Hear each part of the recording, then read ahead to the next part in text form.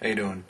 Today uh, we're going to be talking about Ableton Live 6 and um, I'm going to be showing you some of the ways in which you can use it with a MIDI controller to um, do some fancy music stuff. So I uh, hope you enjoy. Let's get started.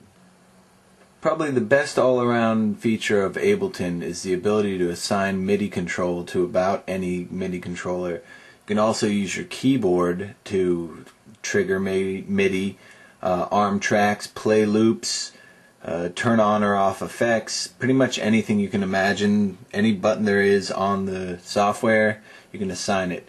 Now I'm using a trigger finger by M Audio. I've got some a couple of things assigned here. Um, these will record for me. These will stop the tracks that I just recorded. This is the auto filter for the drums over here on my keyboard, just a you know plain keyboard. I'm using it for MIDI control. I've assigned some things. These arm, these play different drum loops. These change the instrument sounds.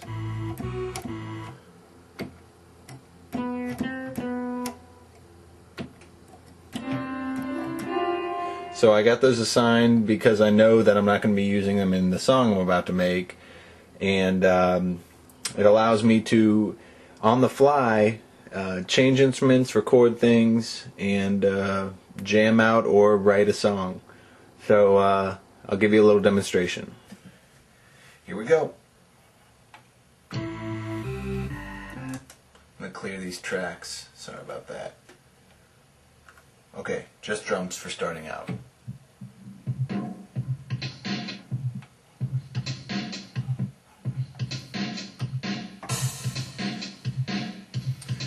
Another great feature is that even it, it'll start the loop on the downbeat. So I can push it now and it won't start triggering changing the loop until the right time.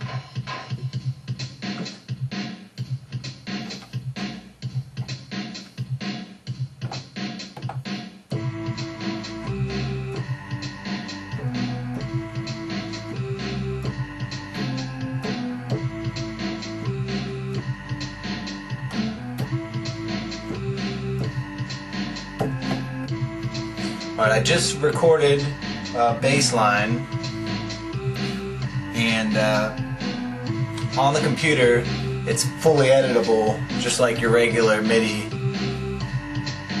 Um, so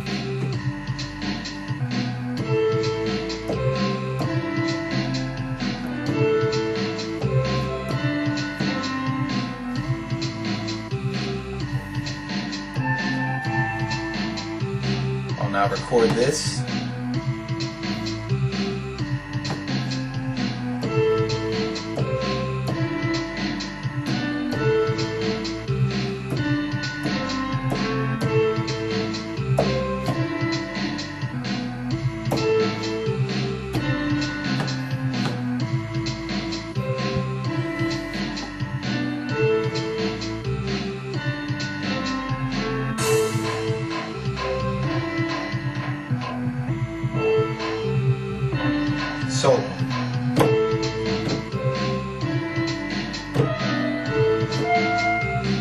Oh no. Here it is.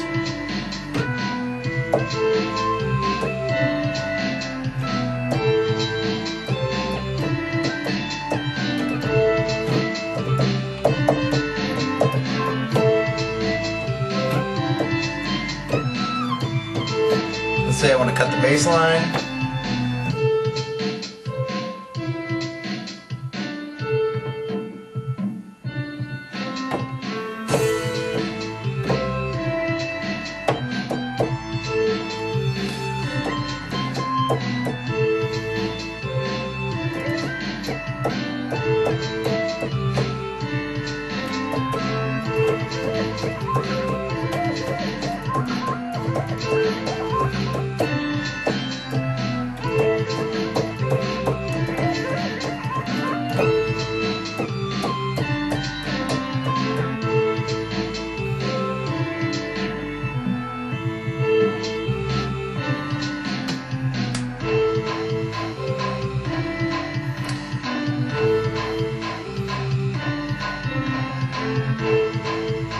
That's about it for today.